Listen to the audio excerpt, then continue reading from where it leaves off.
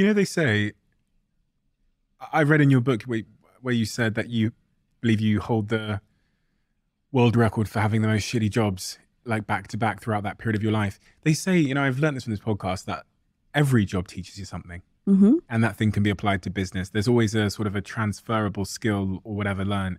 What was the transferable skill that you learned from stripping that you think has probably stayed with you today?